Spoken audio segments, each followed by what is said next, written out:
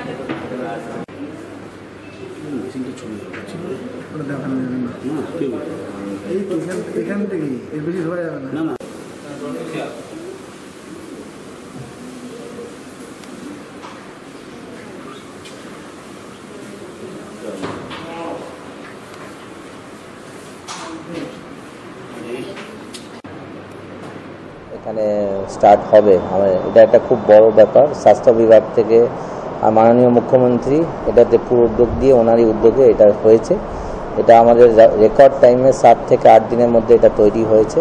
যে জায়গাটা হচ্ছে আমাদের হসপিটালের মধ্যেই লেকচার থিয়েটার ফাইভ আছে। তার নিচেটা পুরো খালি ছিল।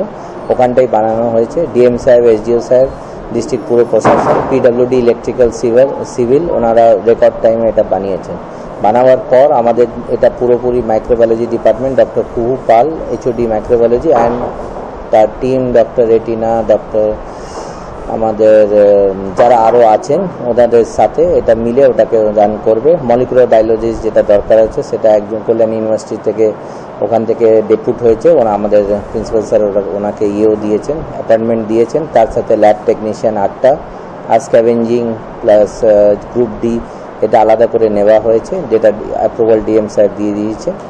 এর পুরো ফান্ডিংটা যেটা আছে, এটা স্বাস্থ্যভবন থেকে থ্রু সিএমওএইচ এর হয়ে আসবে।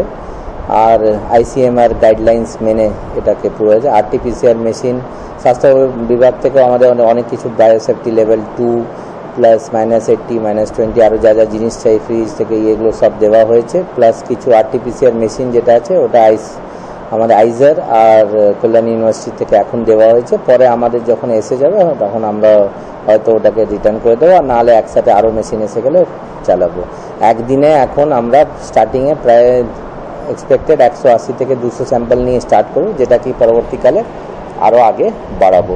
আইসিএমআর থেকে পারমিশনটা আজকে এসে গেছে।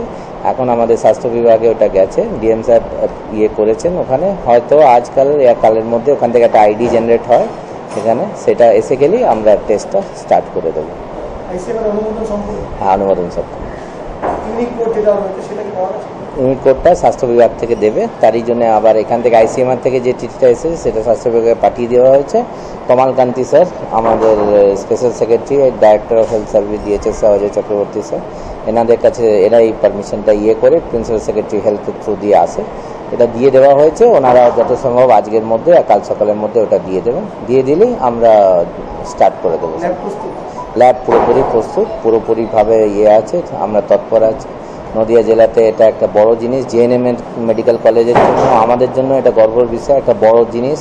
আর আজকাল এমসিআইতেও এটা ম্যান্ডেটরি করে দিয়েছে কি প্রত্যেক মেডিকেল কলেজে এরকম ল্যাব থাকা উচিত। এটা খুবই সফিস্টিকেটেড হাইলি টেকনোলজিড ল্যাব ল্যাবের মধ্যে সবাই যেতে পারবে না। যারা ওখানে ডেজিনেটেড থাকবে, তাদেরই দেবে। সবার ড্রেস কোড আছে।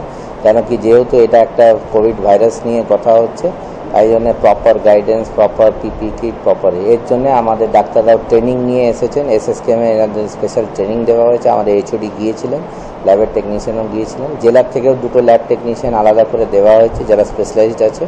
প্লাস আটজনকে আমরা রিক্রুট করেছি। ওনারাও ওনার ম্যাডামের আন্ডারে সব কিছু ইয়ে করছে। আমি খুবই আশাবাদী কি খুবই তাড়াতাড়ি আমাদের এখানে টেস্টটা স্টার্ট হয়ে যাবে, যাতে কি আমাদের আর ল্যাবের স্যাম্পল কলকাতা যাওয়ার দরকার হবে না। আর এটাতে আমাদের রিপোর্টও তাড়াতাড়ি হবে। আর মানুষেরও যেটা অপেক্ষা, যেটা এতদিন লেট হচ্ছিল, সেটাকে যত কম হারের টাইমে আমরা দিতে পারি রিপোর্ট এটাই আমাদের